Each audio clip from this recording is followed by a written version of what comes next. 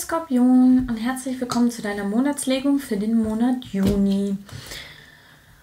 Ähm, manche sind mir letzten Monat entfolgt. Ich habe nämlich keine Videos rausgebracht. Ich habe es wegen meiner kleinen Tochter einfach nicht geschafft. Ich war selber sehr traurig. Ihr braucht mich da nicht deabonnieren, dass ihr das wisst. Es wird immer was von mir kommen, auch wenn ich es einen Monat mal nicht schaffe. Ähm, ich höre jetzt nicht mit YouTube auf. Also wirklich nicht. Es macht mir so viel Spaß. Ich bin dann selber sehr traurig und schaffe es halt einfach zeitlich nicht. Genau. Wer das Ganze schon kennt, was ich am Anfang erkläre, ihr könnt ungefähr auf eineinhalb Minuten vorspulen, dass ihr das wisst. Also, lieber Skorpion, wer das erste Mal zuschaut, so eine Legung kann auf euch zutreffen, muss die aber nicht. Wenn ihr sagt, es tut euch nicht gut oder hä, was hat das mit mir zu tun, dann hat es meistens auch nichts mit euch zu tun. Ähm, dann noch zur Erklärung in meinen Karten gibt es einmal die Damenkarte. Das seid ihr selbst, liebe Skorpione, auch wenn ihr ein männlicher Skorpion seid. Da taucht praktisch dann ihr auf. Und dann gibt es noch die Herrenkarte. Das ist euer Gegenüber, der Mensch, bei dem euer Herz hängt. Ähm, das kann natürlich auch eine Frau sein. Also hier können die Geschlechterrollen vertauscht sein, dass ihr das wisst. Wir schauen jetzt, was eure Hauptthemen im Juni sind und was ihr in der Liebe, also zu eurem Partner, denkt und fühlt und was euer Partner ähm, zu euch denkt und fühlt. Gut, fangen wir gleich mal an. Liebes Universum, gib mir Einblick in den Monat Juni, ins Hauptthema meiner Skorpione im Monat Juni. Was sind die Hauptthemen oder was beschäftigt die Skorpione hauptsächlich?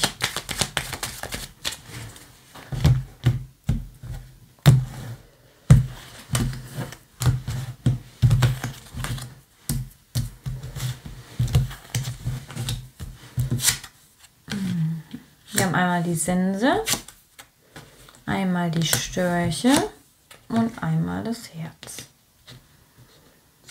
Also, liebe Skorpione, es wird im Juni eine sehr, sehr plötzliche Veränderung auf euch zukommen, die ihr nicht kommen seht, die ihr nicht planen könnt.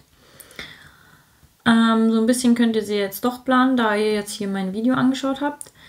Ähm, wir schauen aber mal, um was geht es denn bei der Veränderung. Und dann habt ihr noch als Hauptthema hier eure Gefühle, die, das Thema Liebe. Das brauchen wir aber, glaube ich, gar nicht klären, weil da erfahren wir dann, was in eurer Liebe los ist, wenn wir nachher reinschauen. Also gut, was hat es hier mit dieser plötzlichen Veränderung auf sich? Hui, das sind zu viele. Um was geht es da genau?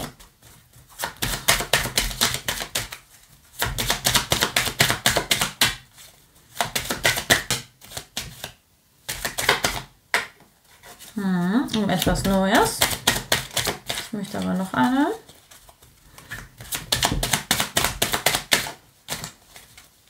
Was Neues? Was ist da neu?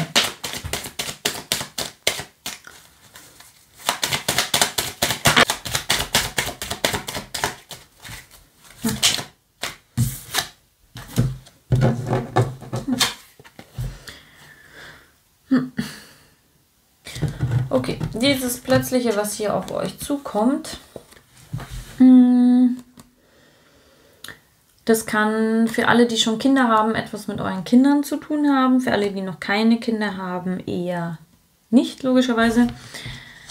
Hier kommt irgendwas, äh, mit Kindern weiß man das oft, was Unerwartetes kommt. Hier müssen, müsst ihr irgendwas neu angehen. Also ihr könnt es nicht so weitermachen, wie das bis jetzt war. Hm. Ihr könntet hier, wenn ihr Kinder habt, jemanden Neues treffen, der auch Kinder hat. Und da kann irgendwie sowas wie eine neue Freundschaft oder sowas vielleicht beginnen. Etwas ganz Plötzliches kommt da. Ihr lernt plötzlich jemanden kennen. Vielleicht lernen eure Kinder plötzlich jemanden kennen. Ähm, das spricht aber einfach dafür, dass irgendetwas, was schon rituell bei euch war, so nicht bleibt, sondern sich plötzlich einfach verändert. Was das ist, bin ich ja ganz gespannt. Ihr wahrscheinlich jetzt auch. Schreibt es mir mal in die Kommentare. So, dann geht es hauptsächlich noch ums Thema Liebe. Da schauen wir jetzt gleich rein. Liebe Skorpione. Liebes Universum. Gebt mir Einblick, was denken und fühlen meine lieben Skorpione im Juni in der Liebe.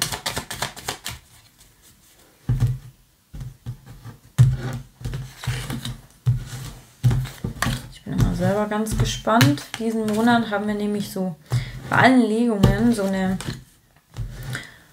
nicht Trennungsenergie, aber jeder stößt irgendwie an seine Grenzen und jeder geht irgendwie einen neuen Weg der Entwicklung und ja, ganz, ganz spannend.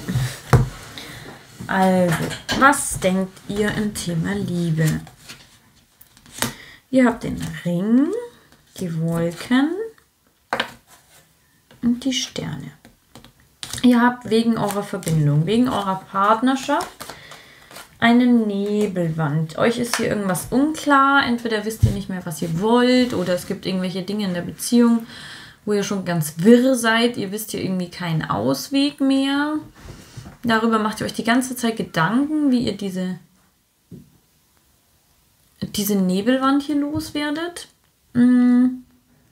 Aber es ist ganz einfach, ganz schön. Bei euch brauchen wir gar keine Klärungskarten ziehen. Diese Nebelwand verschwindet im Juni von ganz alleine. Ihr kommt hier wegen, ich weiß nicht, am besten geht ihr es ruhig an und denkt gar nicht alles durch. Ihr kommt hier von alleine in die Klarheit. Gedanklich wisst ihr dann, was ihr möchtet oder was, ja, was, was einfach Klarheit in die Beziehung bringt. Dann schauen wir, was fühlt ihr zu eurem Partner. Da haben wir das Haus, die Fische und den Hund.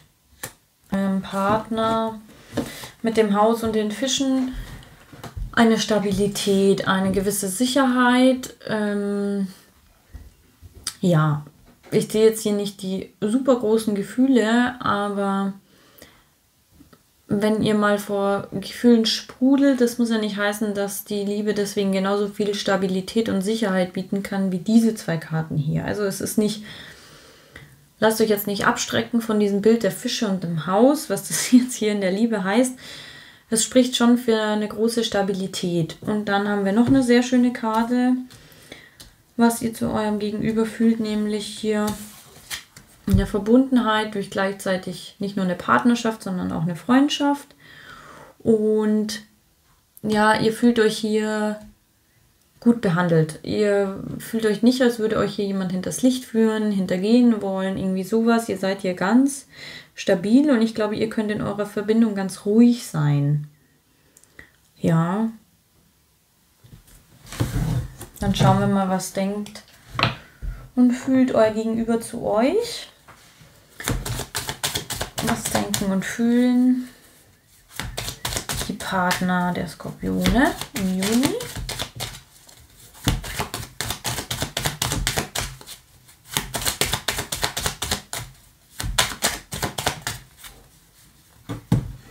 Hm.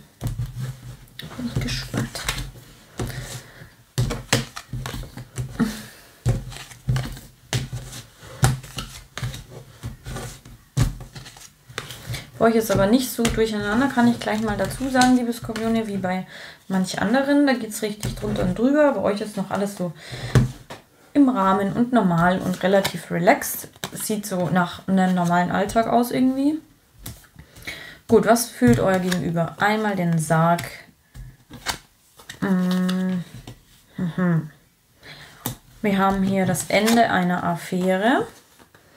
Falls ihr ein Gegenüber habt, das eine Affäre hatte. Dann hat diese Affäre ein Ende. Mm, darüber macht sich euer Gegenüber auf jeden Fall Gedanken. Es kann aber auch einfach sein, dass für euer Gegenüber äh, die Anziehung, die Attraktivität von euch irgendwie vorbei ist. Vielleicht haben wir hier wieder so einen Kandidaten oder eine Kandidatin, die hier irgendwie, obwohl ihr eigentlich zufrieden seid, was anderes möchte. Hm? Und wir haben hier den Schlüssel zu etwas oder eine gewisse Sicherheit. Jetzt schauen wir mal. Da ziehen wir mal die Klärungskarte. Was hat es mit dem Schlüssel auf sich? Oh, da ist einer auf den Boden gefallen.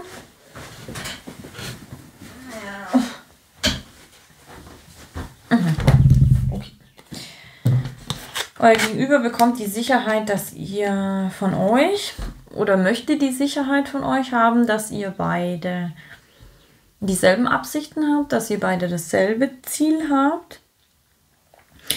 Vielleicht spricht es euer Gegenüber auch nicht aus, aber darum drehen sich die Gedanken so. Vielleicht wird hier tatsächlich, bei manchen ganz selten, glaube ich, hier eine Affäre beendet und dann ist es aber plötzlich so, dieser Mensch beendet eine Affäre und denkt sich so, ach, jetzt muss mein Gegenüber aber plötzlich das gleiche wollen wie ich, weil ich habe ja meine Affäre beendet, bei mir ist ja jetzt alles total geordnet und ähm, jetzt fordere ich gleich mal. Könnte natürlich auch sein, äh, ja, würde ich nicht so drauf eingehen, ehrlich gesagt.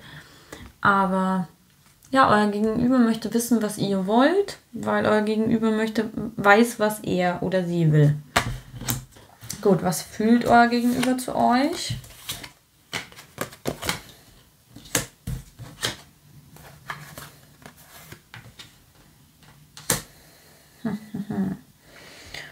Euer Gegenüber fühlt, dass hier irgendwie ein Entscheidungsweg her muss. Okay, wir haben wieder eine Person, die hier einen neuen Weg einschlägt. Euer Gegenüber fühlt hier Kummer. Kummer. Oder möchte über diesen Kummer reden. Kann auch sein, dass es kein Kummer ist und einfach nur euer Gegenüber viel in Gespräche gehen möchte sich einfach danach fühlt, viel zu reden. Ich glaube aber, euer Gegenüber fühlt Kummer und möchte deshalb hier eventuell neue Wege gehen. Das steht aber so ein bisschen noch in den Sternen. Das kann sein, dass das im Juni noch nicht umgesetzt wird.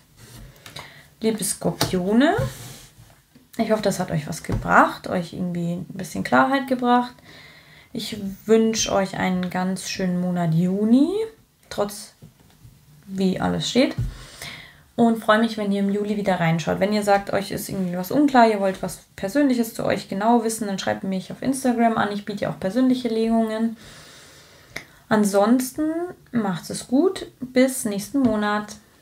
Ciao!